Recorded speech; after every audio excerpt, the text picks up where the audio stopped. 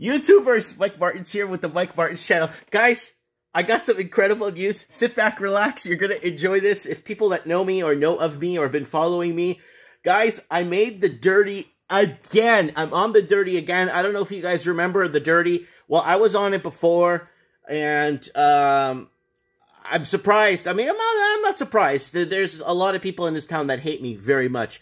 So here it is. I made the dirty once again. Here we go. So they changed my name, but that's obviously that's me, and that's my FC Porto shirt. Um, Michael Martin's narcissist hiding in a small town Merritt. And there's a cool photo of me on this, actually. I really appreciate that. So here it is. From 12 weeks ago, someone sent me, sent me this, uh, a link to this this morning. And I guess somebody is watching, uh, reads this, uh, I guess, uh, it's not really celebrity smut. It's just people they want to smear. So when, let's say I'm trying to find a job, they would type in my name. Instead of my YouTube, like stuff coming up about me, this stuff comes up first. This, first and foremost, this becomes like number one on their searches, right? So here it is, the Dirty Army. Only recently did I discover that the narcissist, Michael Martins, came to our community because of the problems he had created for himself in the lower mainland.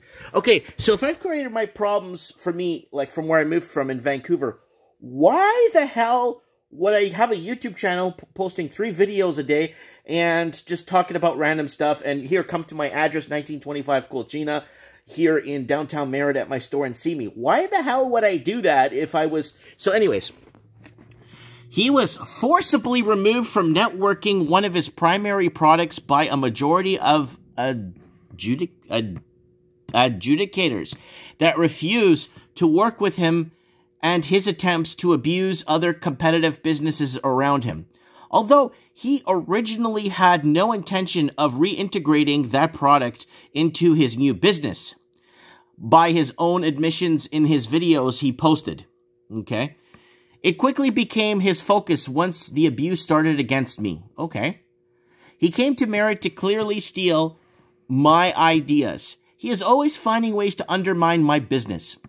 In return, I just simply flip him the bird, flip flip him and his wife the bird. I'm, I'm very used to reading that. Uh, I'm trying so hard to expose him to the local community. He laughs and hoots at, at wearing, being harassed and stalked, and a, a, a, listing in the Dirty Army as badges in his fight against anyone who dares post a bad review that he can emotionally deal with. So, guys, check out the bad reviews I have on Google Maps. It's actually very interesting. It all traces back to another business. All I'm trying to do is figure out who's been writing these reviews and why I'm getting so many one stars in one day, and then the same one traces back to somebody else. And then, and then somebody's sister's writing reviews that's never been in the store, all kinds of stuff, right?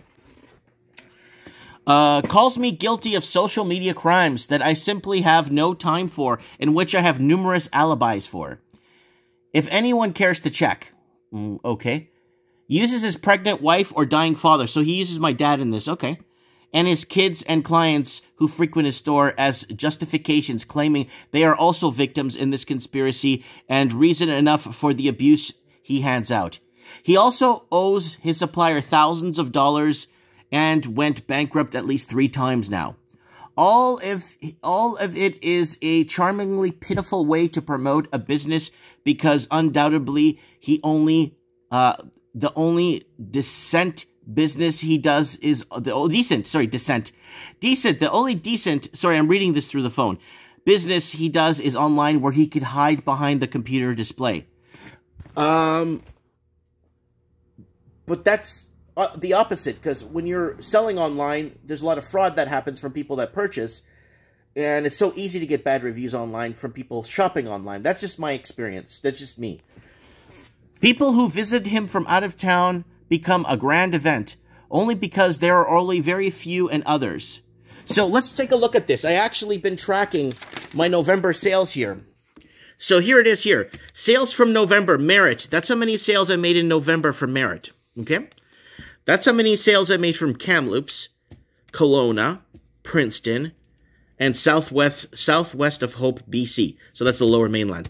So I don't get local business, but I do get every other business. So I'm not sure exactly become a grand event only because there are very few others.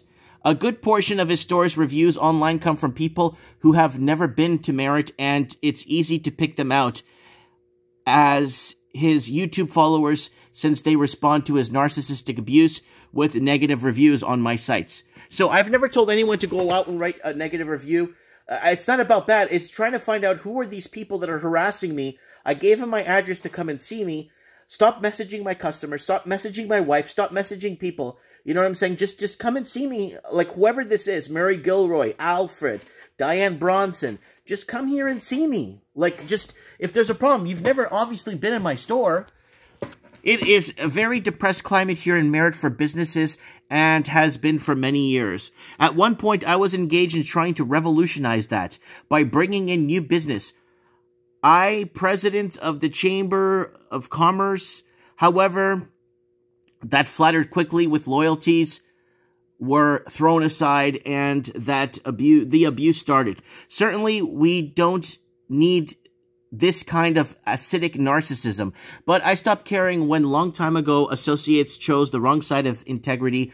We need to shut this guy down before he gets back to his to his old ways. So guys, I've been on the dirty. This is the second time I'm on the dirty already. This is from 12 weeks ago. I just received that. So it's it's it's this thing in, in, in this town. It's like don't like luckily I do well in this town because again, a lot of my business comes from from out of town. Locally, I get a lot of people like selling me stuff or trying to sell me stuff. And here it is right here. So, sell stuff, Merritt. So, people trying to buy wires for systems. So, people would come in. This is last month. So, this is how many people try to buy wires from me. Like, uh, I'm missing a wire for my this, or I got a wire, or somebody gave me a system and I don't have wires for it, right?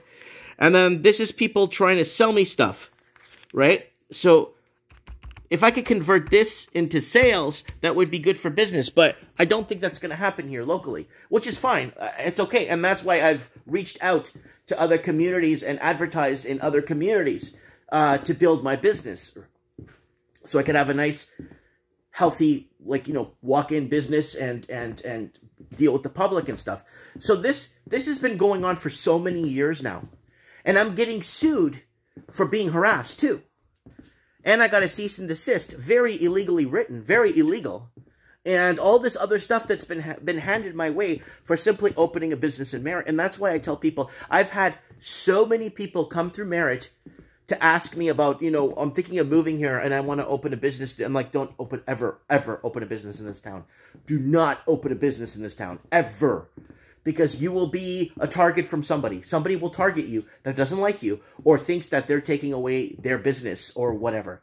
So I made the dirty again, and I'm actually pretty excited about this because it's not every day you get you know you get you get uh, uh, posted uh, slandered on the dirty, but that's okay. It is what it is, and then what what can anyone do about it? It is what it is. Let me know what you guys think in the comments below. Thanks for watching. We'll talk soon.